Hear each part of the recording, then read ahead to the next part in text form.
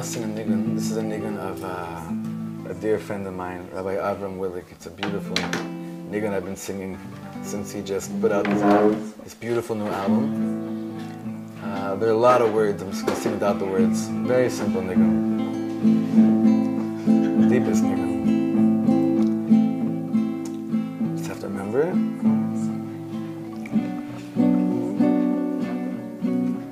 Oh, yeah.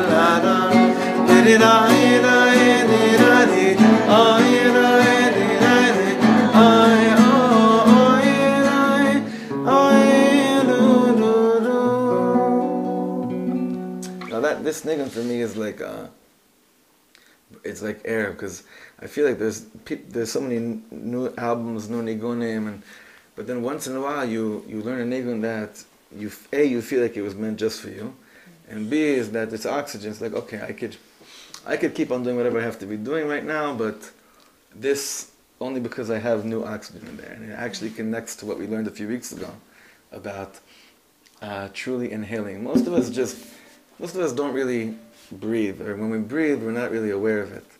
But inhaling is always new air. You don't usually inhale the same exact air that you just let out. It's suffocating. So what does it mean when you inhaling new air? That's what it means. Kol neshama, like we learned kol neshama tahalel kal shalom coming. Kol neshima ushima. Every single breath should feel like new. So alavai, come, there's a lot of space up here. We saved it just for you guys also, so. Anyway, it's so good to have a nigun that gives you air. That's basically what it is. Alright. So, welcome everyone. Thank you so much. Thank you so much everyone for joining and for coming tonight. Um, perfect. All right, this is this is um, a big schus every time that we kind of finish. Um, every time we finish a sefer, every time we, we begin a new sefer, and every time we finish a sefer, something beautiful happens. If you really tuned in to the secrets of the parsha, you get when you start a new sefer, when you start Bereshit, obviously it feels new. When you start Shmot, it feels new. When you start Vayikra, feels new, although you know it's going to be a little bit uh, not as exciting as learning about Bereshit, because now it's about, okay, so that sacrifice is brought then, and that sacrifice is brought then. You start Bamidbar, a bit more exciting. Start Dvarim, it's wow, okay, now it's a repet, re- repetition. If you are tuned into the secrets of the Torah, then you know that every single Sefer starts off with something very strong to give you to go on to the journey of the Sefer. But what do we do when we end the Sefer? What do we say when we end the Sefer? Chazak, chazak, benit chazak. Which means strong, strong, and let's get strong. Let's get strong from all that we just learned in this Sefer, and let's carry it into the next Sefer. What's the end of Sefer Bereshit? You need, to, you need to really get strong because we know that the end of Bereshit is the beginning of exile. It's when we first go down into Egypt. Towards the end of Bereshit, especially the end, we go down to Mitzrayim. So chazak, chazak, benit chazek, which really means let's get strong from every story we learned in Sefer Bereshit. Let's really let it strengthen us. Let us take every story we learned. Let us take every Rashi we learned. Let's take every parable of the Baal Shem that we learned. Let's take everything we learned. Chazak, chazak, venit chazak, and now move along. Now let's move on to Shmot. Begin Shmot, ve'ele Shmot b'nei Yisrael ha'beim Mitzrayma. Shmot is known as Sefer HaGeulah, the book of redemption. And now here we are, Parshat Pekudei. What's exciting about Pekudei? In fact, it's usually almost never on its own, right? Because it's a leap year, so we have Pekudei on its own. But how do you end off Sefer Shmot and feel excited? Parshat Pekudei, the Mishkan. The Mishkan. I want to be really real, okay? who really got really who really ever got turned on by the by talking about the Mishkan? Come on. So, having said all that intro the Chovet Purim, I want to continue the learning tonight for, I was waiting for one more name, but just to have in mind for the Refuah Shlema of, of uh, a dear friend of mine, of Eliyahu Haber's daughter. She Refuah Shlema, little girl, heart. And for our dear friend Reb Nassim Daniel ben Malka, Rabbi Siegel, Shlomo Mendel ben Rachel, Shoshana Ressa Basahuva, and for Michal Moshe Ze'ev ben Yehudis, and another very close dear friend, Alter Baruch ben Sarah. Meir Abuchatzera. Oh yeah, Mayor, Mayor Nisim, uh, Mayor Nisim ben Ben Ruch, I think you're right. Yeah, oh, Reb Meir Abuchatzera, another old friend, yeah. And um, we continue also Lilui Nishmas Miriam Bat Eliyahu Zcharia ben Yaakov Eliezer ben Eliyahu Aryeh. And also, I want to mention this week was my grandmother's Yortzeit, and I, we, we all checked it out. Yortzeits, there's a machlokas, whether it's you do it in Adar Aleph and Adar Bet, so most people hold that you commemorate it in both. If that usually entails you doing a crazy wild trip with a bunch of people to fly out somewhere to be at the kever, you don't have to do that twice each month. But my grandmother's yahrzeit was this past Friday, and I guess it will be again next month too, 16 years ago. My grandmother's Chaya Rachel Bas Tzvi Hirsch. I want to do this learning, and if I would start talking to you about my grandmother, then we would we would really not get to any learning tonight. Um, I could just tell you that she thought that I was Mashiach. So, anyway, come. So. He'll be right. yeah, for all we know, right? I guess so. Can you open up the door a little bit? Thank you. If anyone, if it gets too cold, let us know. But usually people complain it's too stuffy, so open the window a little bit. Okay. Having said everything that we said in the beginning, I want to ask uh, something very, uh, very personal to everybody, and you don't. It's again, you don't have to answer, but uh, you definitely have to let it into your heart. Anyone ever have trouble trusting their attraction?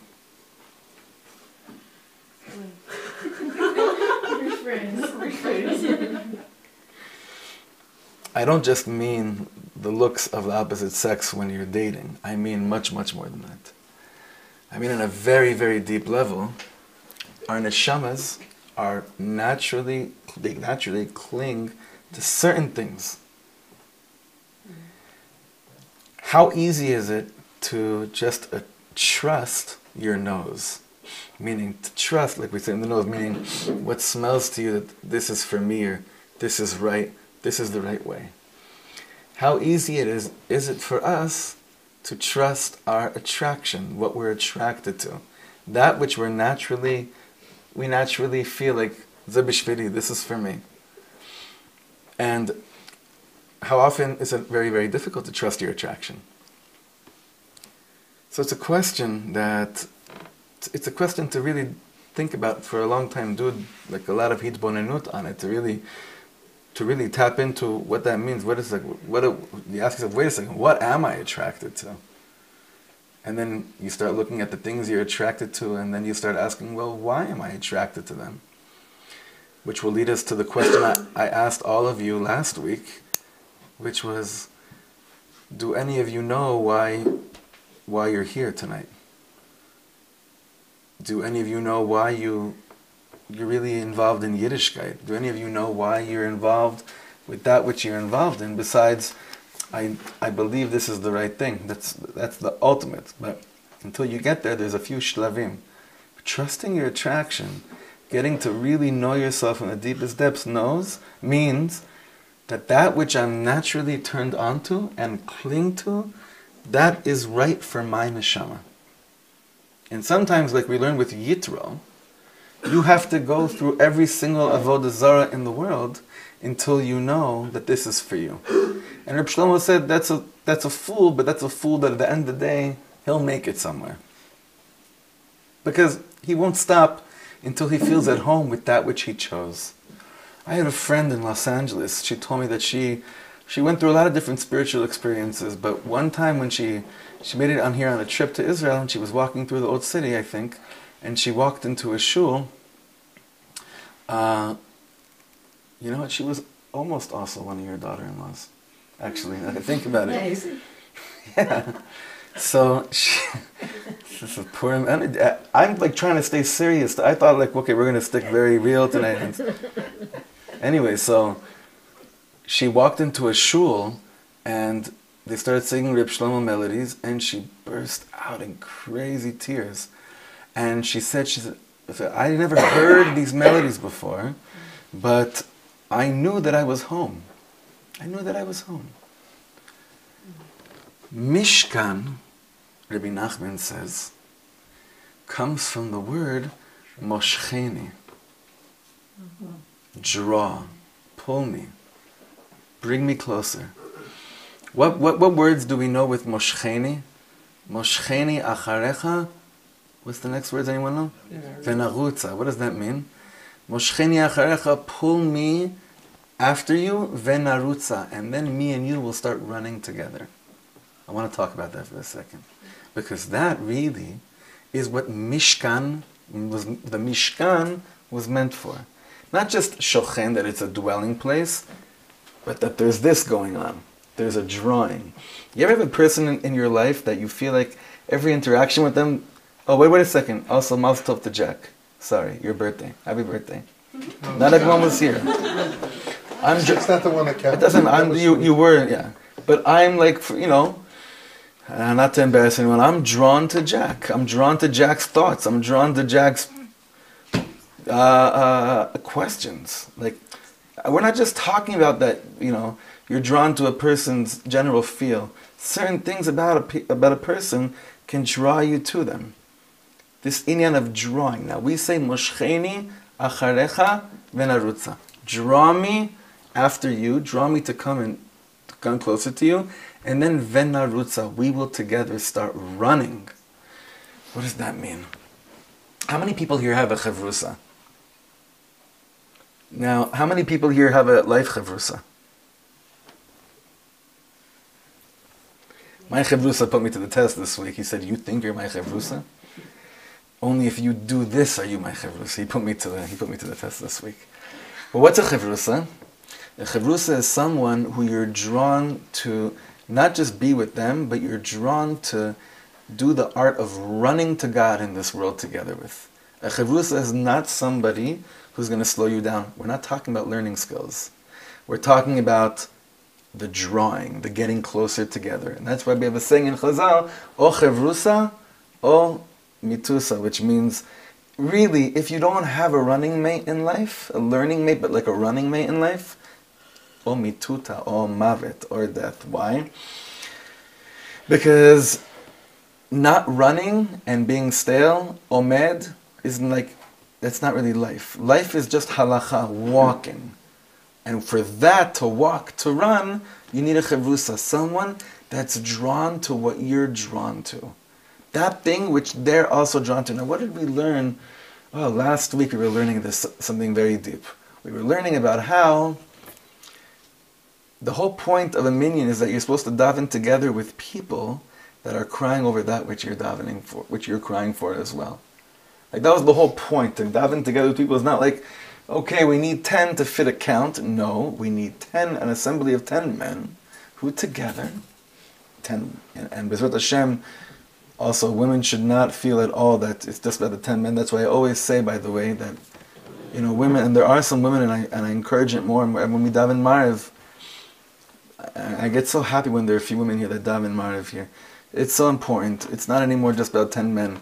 You need 10 men to fulfill a halachic obligation, but you definitely need 10 women with the 10 men to fulfill the inyan of what we're learning about, which is that people should be davening together that are crying over the same thing. 10 chavrusas davening together. Moshcheni acharecha, a minyan of Moshcheni acharecha, draw me closer to you, venarutza. And we'll start running. Now, tonight's going to be really sweet. The learning, it's only, Simulev, pay attention. This is it. Few, pa- how much? Three, four paragraphs, nothing. But what Reb Shlomo does is that he explains to us why the Mishkan, based on the word Moshcheni, draw me closer, according to Rabbi Nachman, what about the Mishkan? What exactly about the Mishkan, the dwelling place of the Shekhinah, what about it is so perfect for the ending of Sefer Shmot? Why do we need Dafka, the Inyan of Sefer Shmot, to end? Why do we need the book of, I mean, Sefer, there was a lot going on here. Just to remind you, there were ten plagues. There was the crossing of the Red Sea. There was the giving of the Torah where everyone heard God, Am Yisrael heard God's voice. There was the manna falling down from heaven. There was Amalek. there was the golden calf. There was Moshe Rabbeinu bringing down the 13 attributes of mercy. And there's a lot of in between also, Truma Tetzave, Mishpatim, a lot of Tachlis stuff, hardcore stuff. But we end off again with the Mishkan. Moshcheni Acharecha Ben Why? Maze Kashur. What does this have to do? What exactly, why are we ending Sefer Shmot talking about the Mishkan? It's not exactly about the Mishkan itself, but what it took to create the Mishkan. And that's what we're going to be learning about tonight. Okay.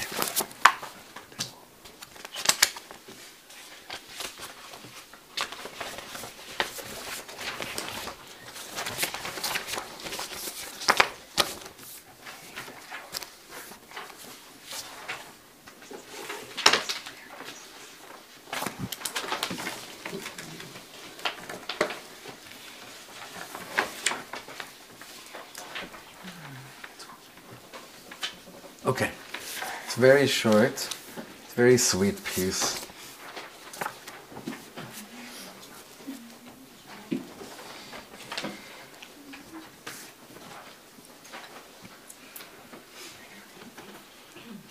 Do we need more in the back?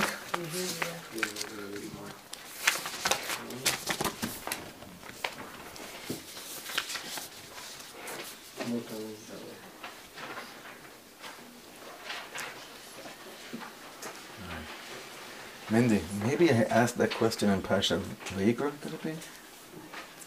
It could- I mean, I'm presuming it was somewhere Yeah. around there. Probably, yeah.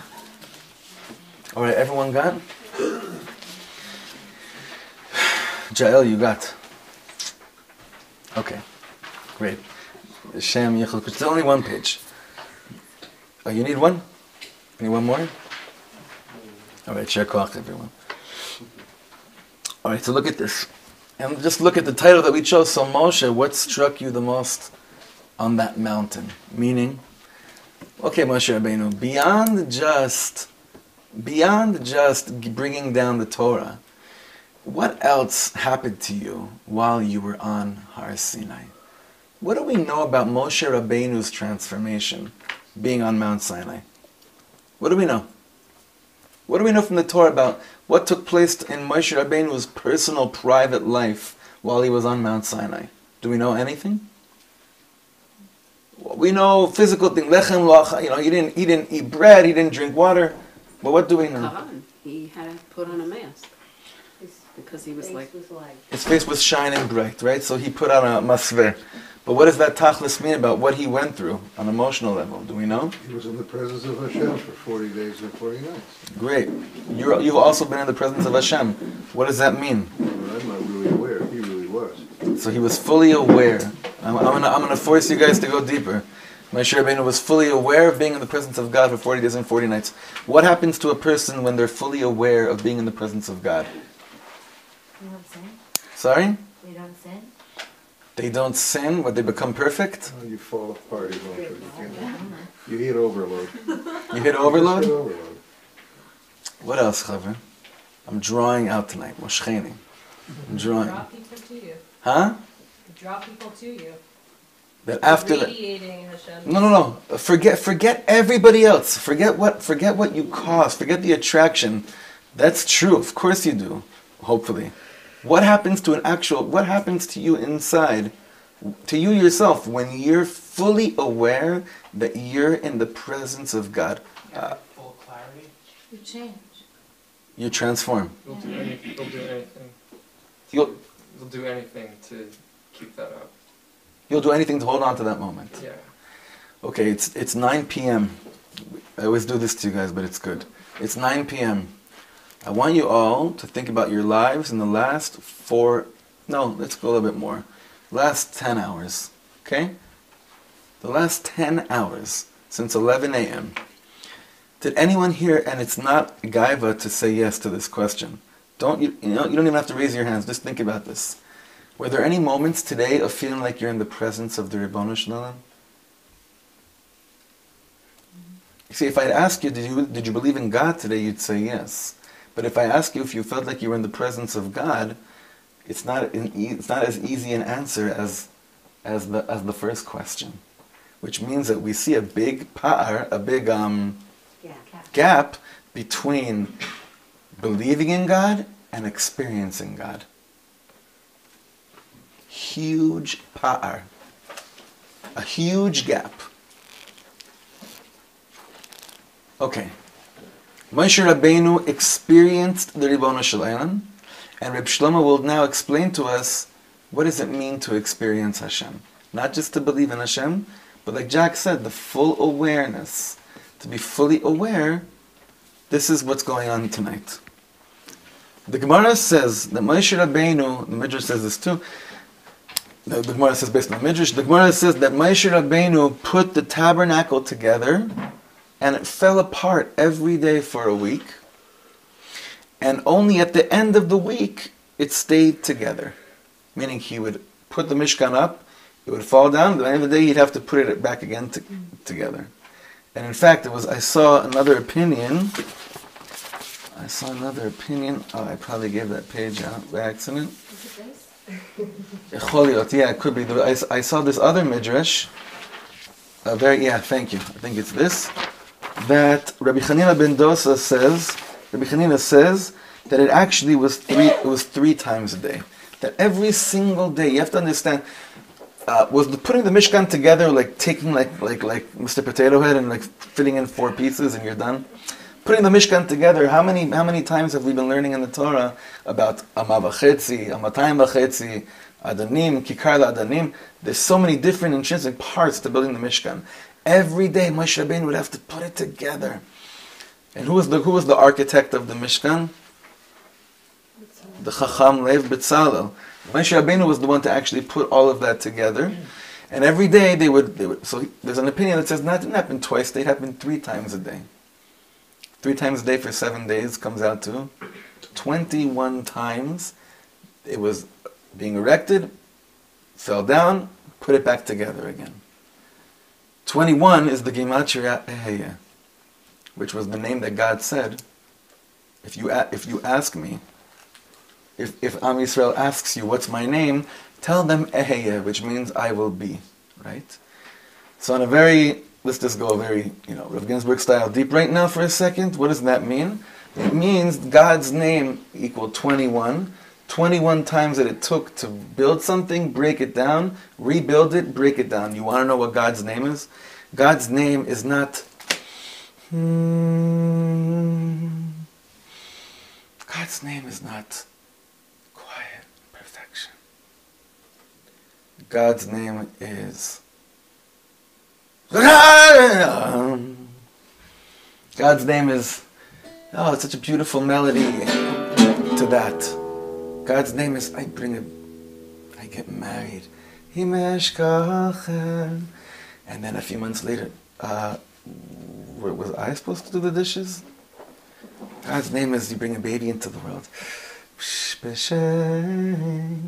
And then eight months later, nonstop. What does Eheyem mean? 21. What does Eheyem mean? God's name means I will be. It means it means what we're going to be learning right now.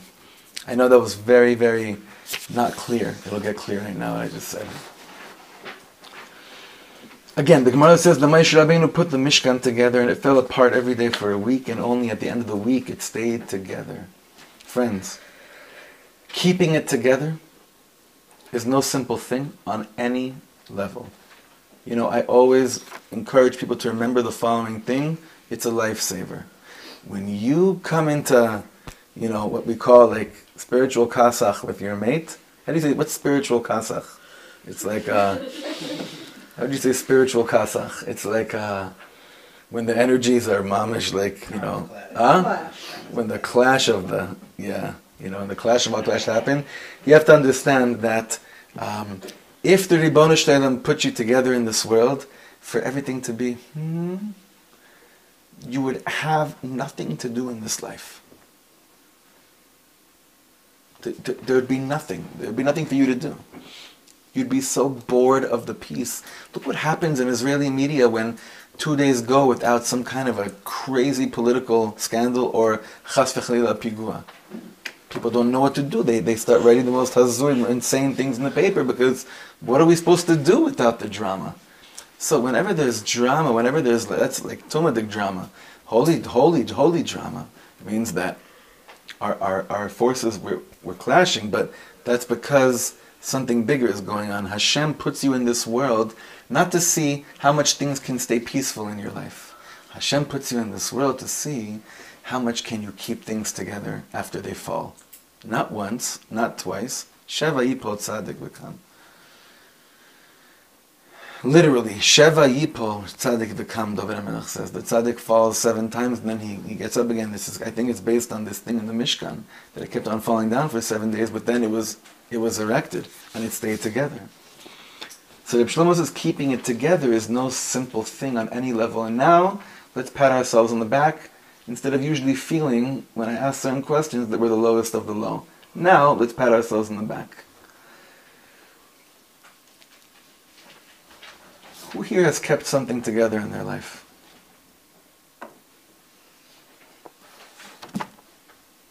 If you're, if you're, if you're here right now, you have something together. You have something together, whether you like it or not. It's true. All those things that you woke up this morning thinking that today I'm going to do, I didn't do. Yeah, could be. I'm, I, I, I am the king in that. I'm just letting you all know. Sorry, I beat everyone on that one for me to like cross off the list is like the heart, you know, just the list keeps on getting longer and longer every single day.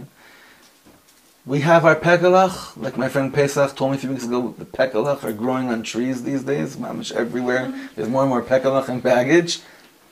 We have it together. On a certain level, we have it together. We've kept it together in our life. We've gone through stuff that we never ever imagined we would go through and come out alive, and we've kept it together. And each person, that means something else. Like, if there's no way I could do that, think of what you thought once in your life. "Oh, No, there's no way I could get through that. You kept it together. Whatever it is. Now, let me ask you, friends, what's the. Now, he's going to answer a very important question. What's the acid test if you mamish have it together inside?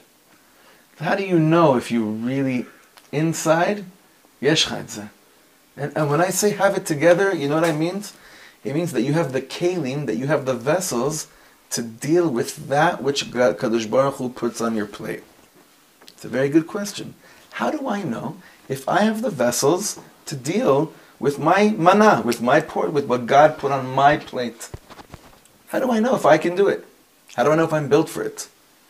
Look at the answer. It's beautiful. Very simple. If you don't have it together, you give up when it falls apart. If you really have it together inside, you don't ever give up. I want to read that line again. Please listen with your heart right now, okay? And, and, and listen, see your life in this answer, okay? See, look at your own life and look at it inside. If you don't have it together, you give up when things begin to fall apart. If you really have it together inside, you don't ever give up.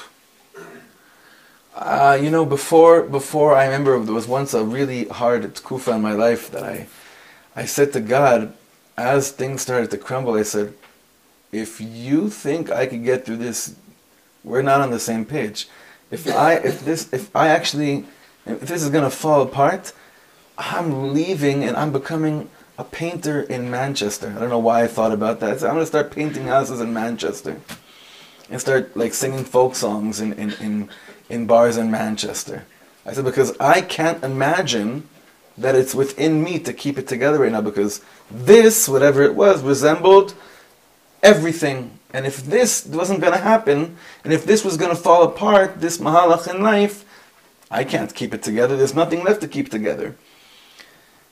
And um, I still do wonder what it would be like to be a, a, a singer in bars in Manchester. It, it does interest. I, I have no idea. I don't know why. You know, I think I know why. At the time, I was listening to a lot of Stephen Stills, and he was hanging out with Jimi Hendrix um, before Jimmy took off. That's what was happening. And I think I had just gotten hold of a recording of them playing in a bar in Manchester. L'chaim. I can't explain it any other. You know, nothing else makes sense to me. I, I, I Emma's, Emma's Manchester. No, no. Okay, okay, okay, okay. That that accent drives me absolutely insane. So I, I wasn't saying that I'm like I can't wait to go to Manchester. This guy in yeshiva, he kept on talking to me in English, and I needed a translator because that accent was driving me nuts. Anyway, is anyone here from Manchester? Last night I got into trouble. We learned a whole piece of Torah about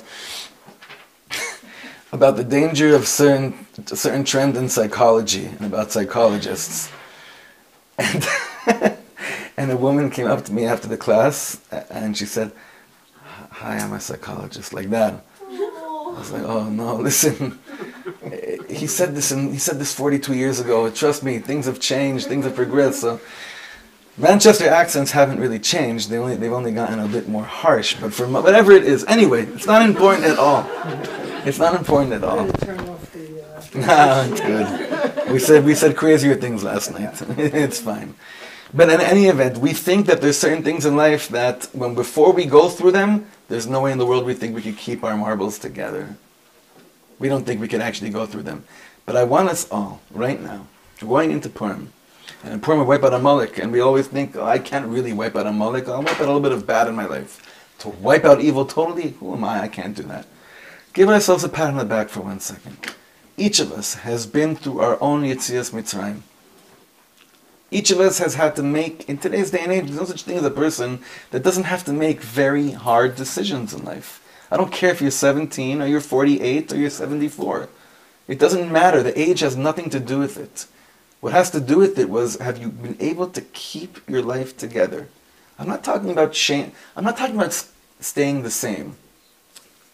I want to make sure this is clear. I'm not saying, hey, have you been able to hold your composure and always stay the same through whatever you go through in life? No. Hopefully, you always evolve and you change and you get deeper. But have you been able to kind of keep life together? Like things have crumbled, and you re erect that which has fallen? Even though it fell down again every single day. You keep on trying. Eretz Israel is the best example. It doesn't make any sense that after the six million are killed, we come back to Eretz Israel and we have so much trouble. Doesn't just doesn't make any sense. If you tell someone while they're in the gas chambers, listen, I can't give you any consolation but the fact that six million Jews will be living in Eretz Israel in 60 years from now. But then you tell them, but the truth is, we'd be, we would be keep on offering back and forth Jerusalem, and hundreds and thousands of Jews will keep on getting killed for the next 60 years. This doesn't add up. But somehow, because of Moshe Rabbeinu's avoda of the Mishkan, you and I don't give up, and we can't explain it. If we'd stop right now and I would take you on a very personal journey in your life and ask very private, intimate questions about things that really hurt, and I'd ask you, let me ask you a question. When you went through that, why didn't you give up? What kept you going? If you can say what it is that kept you going, it doesn't turn me on so much. If it's something like that you can't explain, then I can relate to you. Because most things that keep us going and not giving up in life are not things that you could really verbalize and explain. It's something bigger. It's something that has to do with Moshe Rabbeinu. It's something that has to do with being aware and being in the presence of God.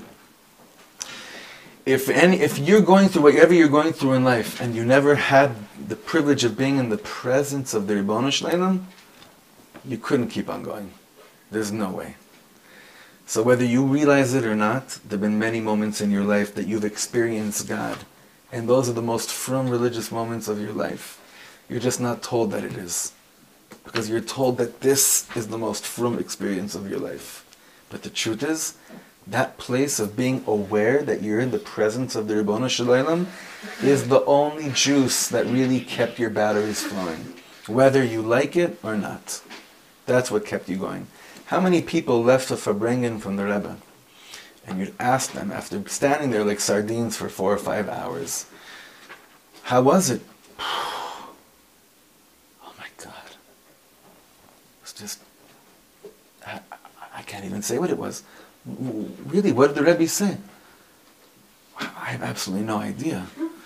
But it was the highest thing in the world. How many of my friends that I, I see them in pictures that they were with Reb Shlomo in certain places and certain classes that, you know, it takes us like three years to begin to understand what he's talking about. And they were there when it was happening live, and I would always ask them, so what, what did he say? And they all said, look, I don't remember any of it, but it was the highest. And they mean it. Why? Because they were in the presence of the Ribbon Shalom. And when you're in the presence of God, the experience does not need words. It's something much, much greater. We're always looking for definitions. We're always looking for explaining why I feel what I feel. When I let go of that, I have a Mishkan in my life. Okay, let's continue. Take a look at, at us, Yidden. How is it that we were away for 2,000 years from the Holy Land and we never gave up? Like, where does that come from?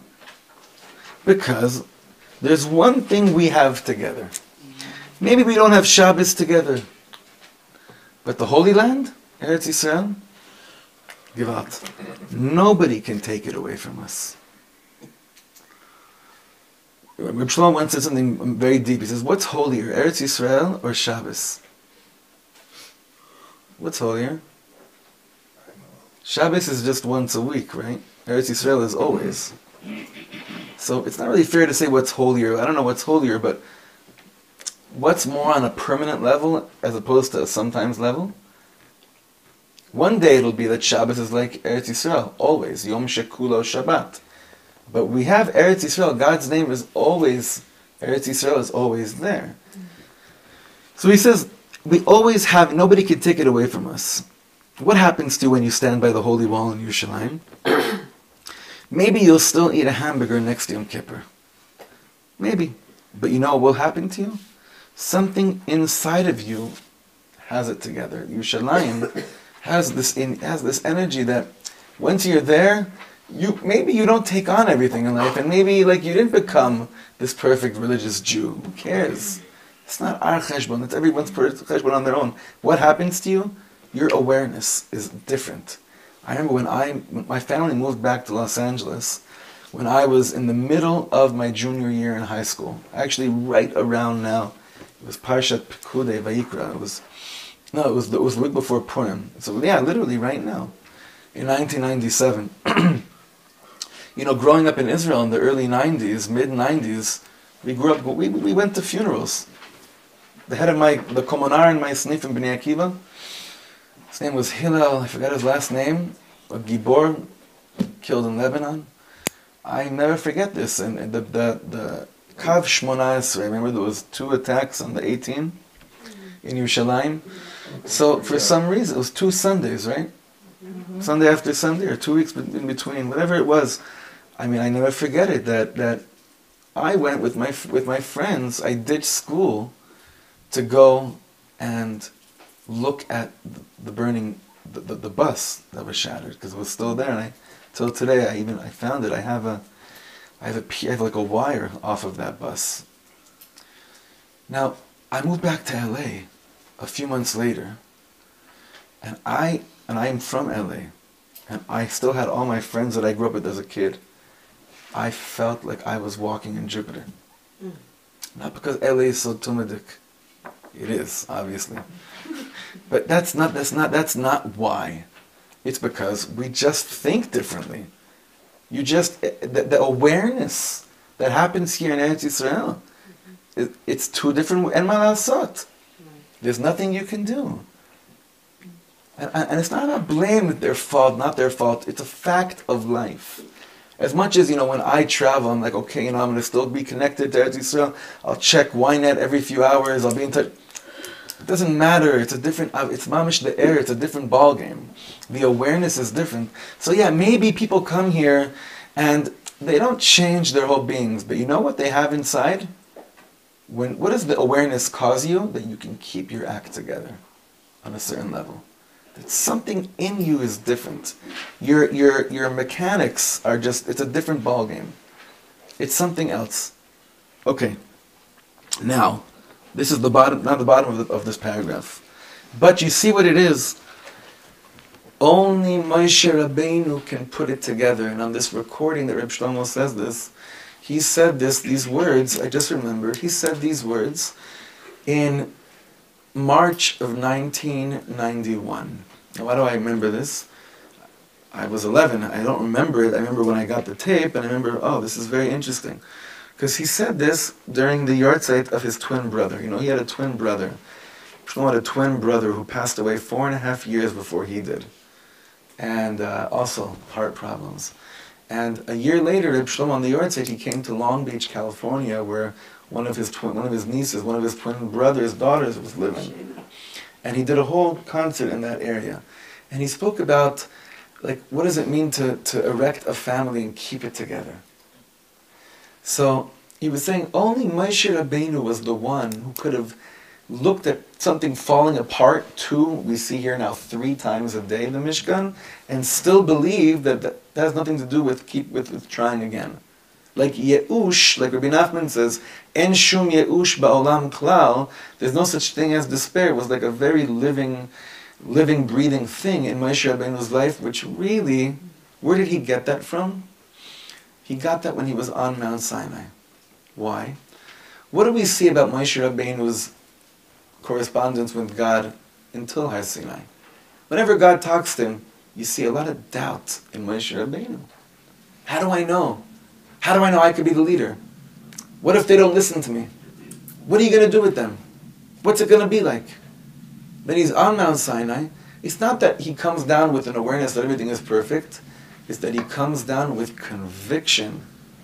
And how do we know he came down with conviction? Because it takes a lot of conviction to talk to God and say, if you don't do this, then blot me out of your book.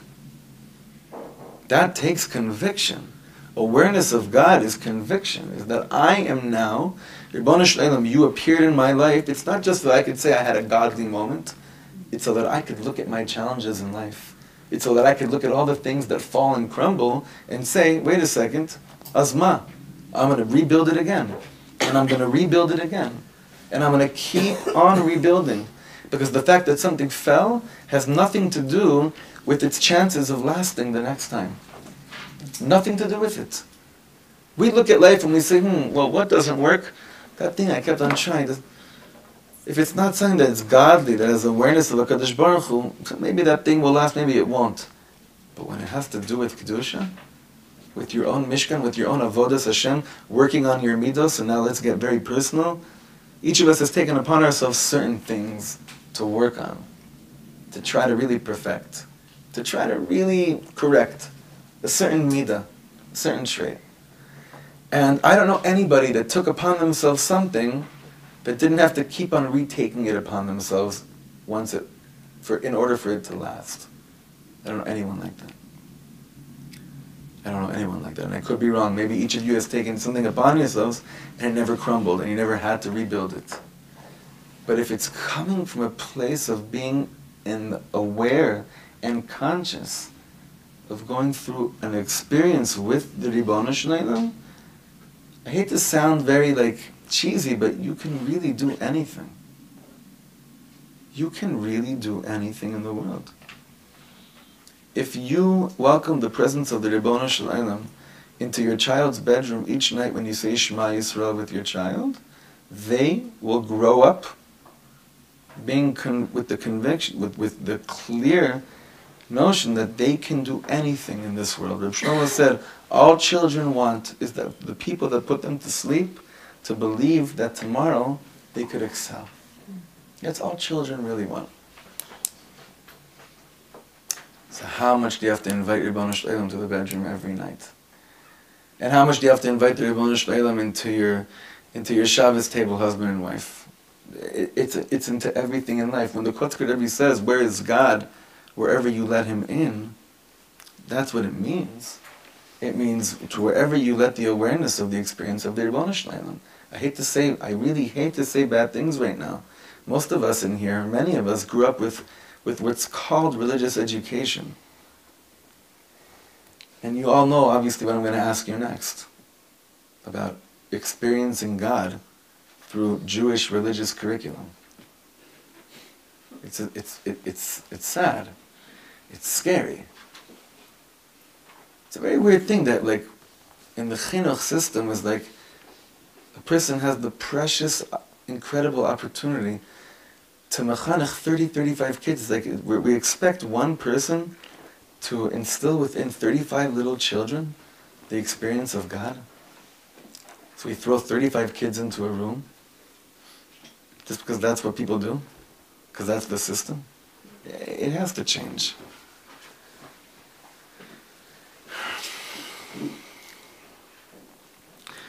Again, but you see what it is, only Moshe Rabbeinu can put it together. And do you know why Moshe Rabbeinu can put the Mishkan together? Because together, meaning keeping it together, is the teaching from heaven. It's not from this world. Like you do need kalim, you need vessels. It's a very big thing now. People that are trying, beginning to understand that light. We have plenty of light coming down all the time, and we have access to all the tzaddikim more than we ever had. What to do with the teachings is a whole other ballgame. Teachings exist. What to do with them is a tremendous thing. So we're seeing, especially in Breslov, we're seeing a lot of different schools of thought now that are saying, also in Lubavitch, we're seeing a lot of schools of thought that are saying, okay, let's figure out what to do with all this huge light that's pouring down from Shemaim.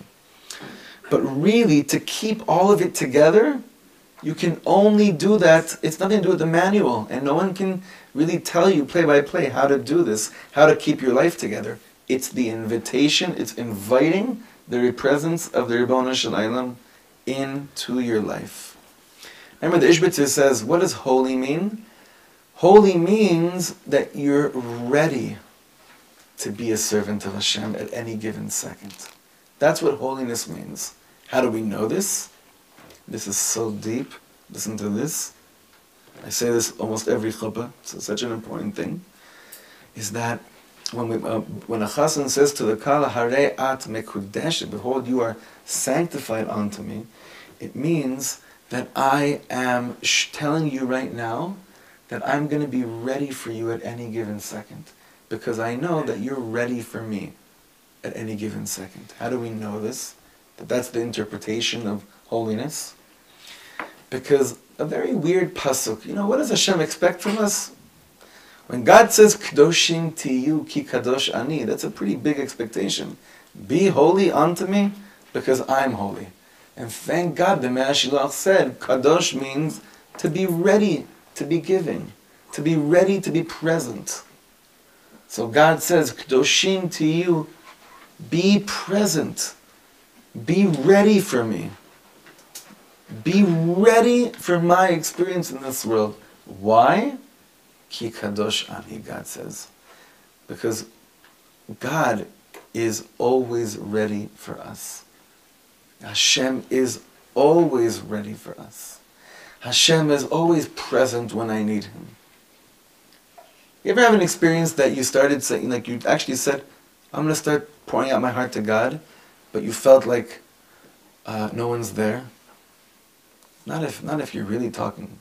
Karov Hashem l'chol korav l'chol asher yikreu be'emet. If you're calling out to the Ribbon Shalom for real, He's always there.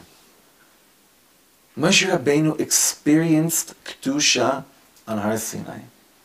That he saw that God is present and he realized that he is present. What are the two words now we can connect something beautiful we once learned? How do we know this even deeper? Because Moshe Rabbeinu is told by God, Ale Elai Hahara, and then what are those two words? Vehayesham, and be there. Mamash be there. Be there. Be present. And when Moshe Rabbeinu is present, he can come back down, he can smash luchos, and he can still think that everything can be fixed. Why? Because he had one second of his life being in the presence of God. That's all you need. And before I said before, like that that nigun that we sang before was like air for me. It keeps you going. It's because certain nigunim you feel like you're in the presence of God, and those are usually nigunim that don't have words. It's very interesting. Usually the niguns without words are the ones that really bring this awareness, this consciousness of the Ribbono Shel Olam into the world. It's a gift from heaven. It's, it's a taste of what Moshe Rabbeinu experienced on, on Mount Sinai. Remember the story that Reb Mendel of the silent Rebbe, he, he, he one time with his like he would barely speak and they once sat for hours together. They didn't say a word. And at the end, I think he said, Hashem Hu Elokim, and each person felt like they learned everything about their own lives after the Rebbe said that. Yeah, another story. The Ish Kodesh, Schus Hashem Yikom Damo, Schus Aleinu, Reb Kalonymus Kalman. So he had a crazy story. His son was, was injured in a bombing which took place in the ghetto right before Simchas Torah on Chol Moed Sukkot, and he succumbed to his wounds right before Yantiv. And the Hasidim, whoever was there, you know, everyone was his chassid in the ghetto. And, and, and when he walked in, finally they waited, he finally walked in to speak, to share his heart, Simchas Torah night, so he waited for a long time. He didn't say one word. And then he gets up and he says, after I don't even know how long, he says, Baruch Hu es Hashem HaMevarach. And everyone screamed back, Baruch Hashem HaMevarach le'olam va'ed. And everyone felt that they did their tikkun in this life even. Because of experiencing being in the presence of God. Anyone that goes to Uman for real comes back and they can't tell you what they felt. If they can explain to you, it's not it. It's just not it. And they know. They'll understand it later on. And they even know that which I can't explain is giving me batteries. How does that work? I can't even explain it. But why is that my juice? How does that work? Because, like Reb Shlomo just says, because together, keeping it together, feeling like you can keep it, your act together, is the teaching from heaven, not from this world. It's not from the tree of knowledge, Reb Shlomo says, it's from the tree of life. You have to mamish be up there. Moshe Rabbeinu brought down the man, Moshe gave us the Torah, but what is Moshe Rabbeinu really teaching us at the end of the book of redemption, at the end of Sefer Shmot? He brings down the Torah of how to get it together. Eile pikudei mishkan, mishkan ha'edut. What is the mishkan called? The dwelling place of testimony. What does it mean, the mishkan ha'edut? What does it mean? What do you mean you have to give over testimony? Any of us right now that still have our lives somewhat together, we are walking edim that God exists. We are edut. We are mishkan edut. We are we are mamash. Those of us today that still mamash holding on to God. We are walking pillars of the mishkan. Mishkan edut, the mishkan which gave testimony that what? That when you taste your bonish when you have awareness that melo chol haaretz kivodo, that you can do anything. You don't even have to talk about it. You don't have to go around giving shears, giving lectures about how God exists. You're a walking testimony. You're not just a walking testimony that Jews still exist. Oh, the Germans didn't get us. That, that, that doesn't work anymore for this generation. Look at us, we're still chai v'kayam. That's not what's keeping this generation alive. What's keeping this generation alive is that we took a look at ourselves and we're like, wow, we are made out of something that we can't explain. We can't explain it. Thank God we can't explain. Explaining something is the tree of knowledge, like Reb Shlomo said. The tree of life, being on Har Sinai, v'heyeshama, being there, mashu something else. And this, Reb Shlomo says, this is the end of the book of Exodus. This is the end of Shmot. Why? Now look how in his master master way of, of explaining things. Why is this the end of Shmot? Why does Shmot end like this? Because, and what's Shmot all about? It's about leaving slavery, right? Because if you don't have it together, you're still in exile. you're still a slave. What does that mean? That you're still. What does it mean that you're still in exile if you don't have it together? What do you guys think it means? Now let's answer. If you don't have what together, you're still a slave.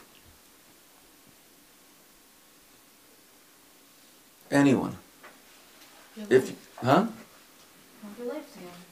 Your. Your your pekalach. Yeah, your baggage. What? If you don't have a sense that Hashem is present in your life, If you don't have a sense that the Ribbono Shel Olam is present in your life, mm. what else?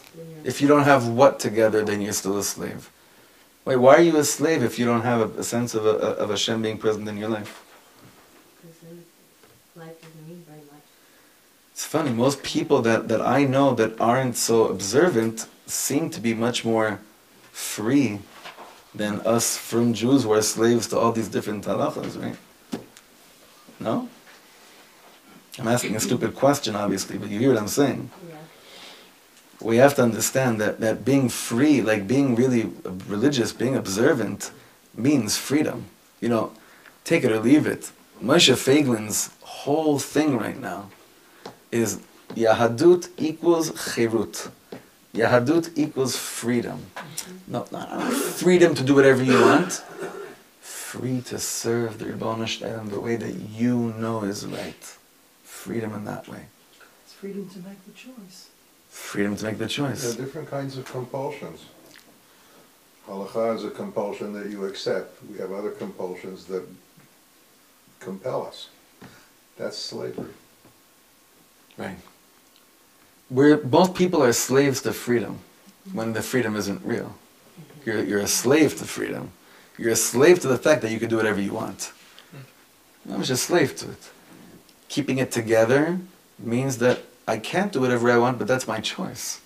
And I'm so happy that, that I've invited God into my free choice.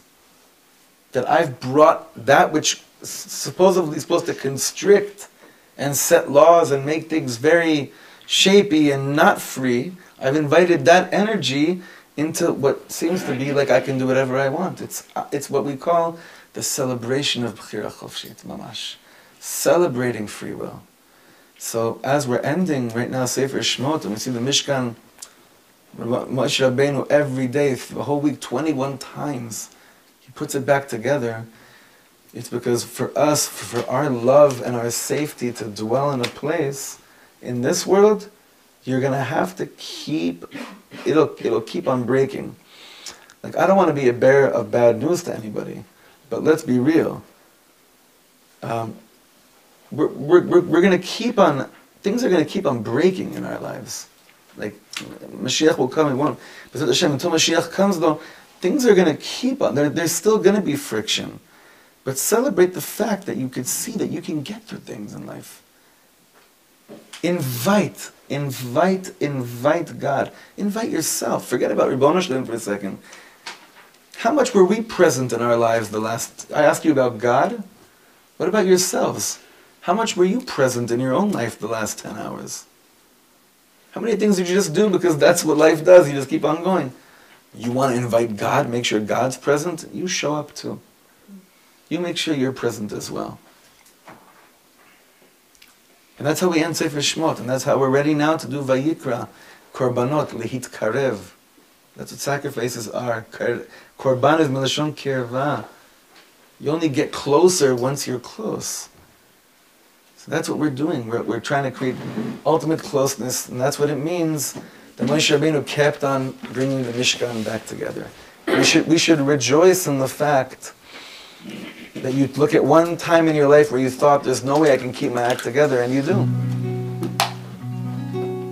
Let's sing this nigun one more time. Da,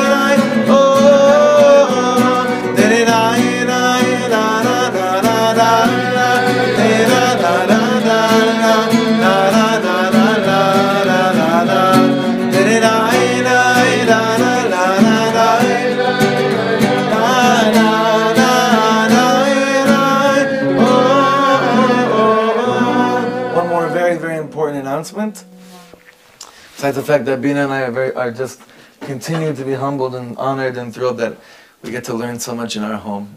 We feel this every Shabbos. What happens here, we always feel every single Shabbos, the Shabbos table, all week long. Brings so much to our home. So, just ultimate thank you to everyone.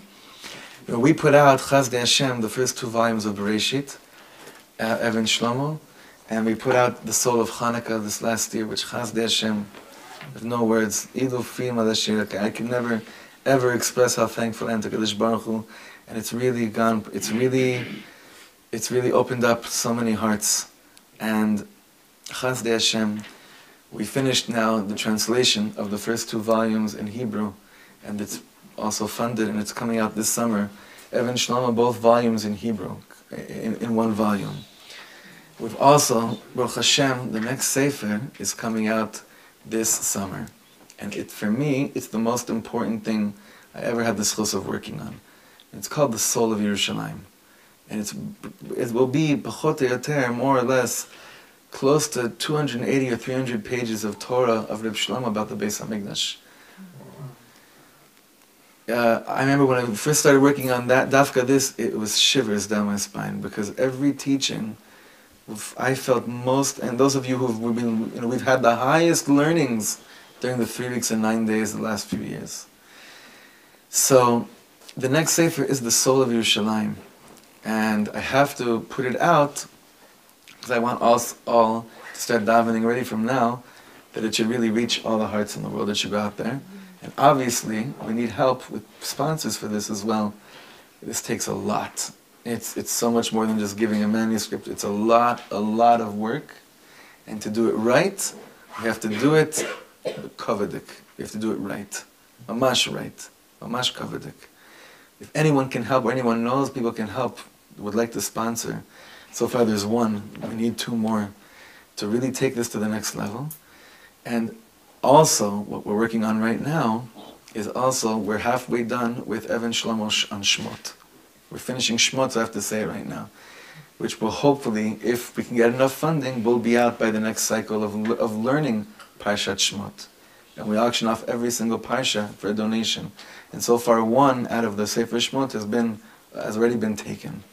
And I don't want to wait for the last second, and I want to give the opportunity, Dafka, to those chaver that do learn with us, if they want to sponsor or they want to help out in any way, shape, or form with this. Tavo. Trust me it's the most unnatural thing for me to even talk like this. Trust me. But the halacha says, in, uh, you know, b'mokom she'ein ish heya ish, no one else is going to be doing this, so I have to just share this. So, Bezrat Hashem, the gates will open, and I'm sure these things will be get, get published. It's just a matter of who wants it, who wants it badly enough. So, alavai, we should all feel that it's the luckiest zchus in the world should continue to feel that we are the luckiest people in the world, but to be able to help to share this lucky, this Torah, Toras Chaim with other people, Ashreinu Matov Chelkeinu. You can ask me any more, email me or talk to me about any other questions regarding this whenever you'd like. And Bezrat Hashem, we're learning this Thursday night in Yerushalayim. I'll send out an email about that. And we continue with next week, Sunday night in Simchat Shlomo, and Monday night back here in our house. Okay? So this Thursday in Yerushalayim, Sunday night also in Yerushalayim in Simchat Shlomo, and Monday night back here in our house, Parshat Vayikra. Okay? Shikach everyone, thank you for coming.